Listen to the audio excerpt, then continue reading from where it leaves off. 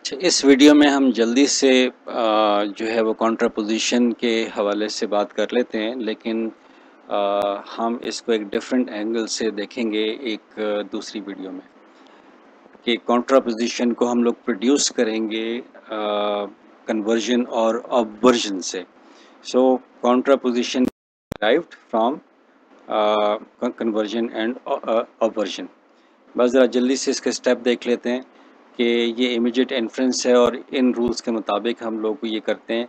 कि replace the subject term by the complements of of its predicate term और similarly the predicate term by the complement of its subject term और composition of A and O only so A और O जो है इसमें अपना uh, अपना preserve रखती है अदरवाइज़ वो प्रिजर्व नहीं रखती।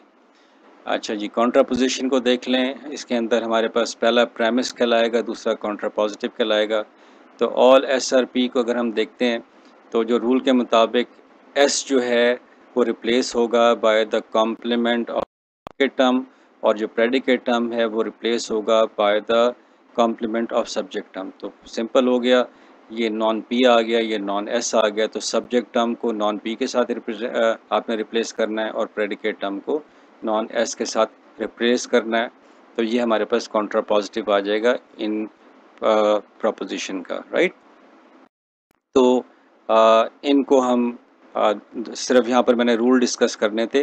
आ, अगली जो वीडियो में होगी उसके अंदर हम लोग ये देखेंगे कि कन्वर्जन और ऑबवर्जन को हम लोग कैसे अप्लाई करें तो कॉन्ट्रापोजिशन हमारे पास सामने आ जाती है और वहीं पर हम लोग देखेंगे कि किस तरीके से जो हमारे पास जो जो प्रोपोजिशंस हैं लॉजिकली इक्वलेंट होती हैं कि नहीं होती?